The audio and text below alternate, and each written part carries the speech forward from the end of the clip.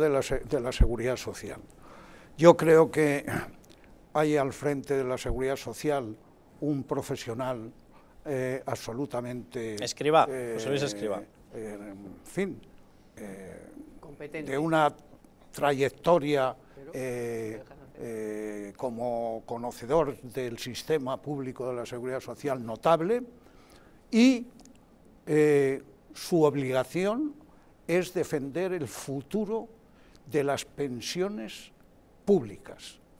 Y para defender el futuro de las pensiones públicas se puede hacer demagogia, pero cuando llegas allí tendrá que empezar a tomar decisiones, unas llevarlas a los presupuestos generales del Estado, otras eh, elevar el periodo de tiempo de cotización, tiene que hacer cosas, las reformas a las que no se tiene que oponer la oposición, porque para eso está el Pacto de Toledo, para que juntos aseguremos el sistema público de pensiones, y eso lo tienen que abordar de una u otra forma. pues si no, lo, si no lo hacen, que, los electores se lo hagan pagar. Yo tuve un presidente del Partido Socialista, que es el que eh, me dio a mí la entrada en el Partido Socialista hace ya muchos años, ¿verdad?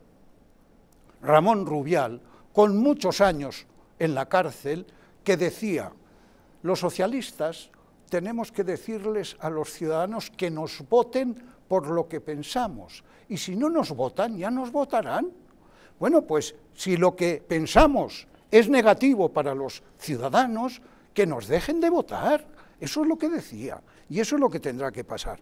Tienen que tomar decisiones respecto de la de las pensiones. Y yo soy de los que opino, que las pensiones tienen futuro, las pensiones públicas, si se hacen las cosas ¿qué hay que hacer. Eso es lo que Una quería cosa te voy a decir, mira. Muy rápido que quiero ir. En Francia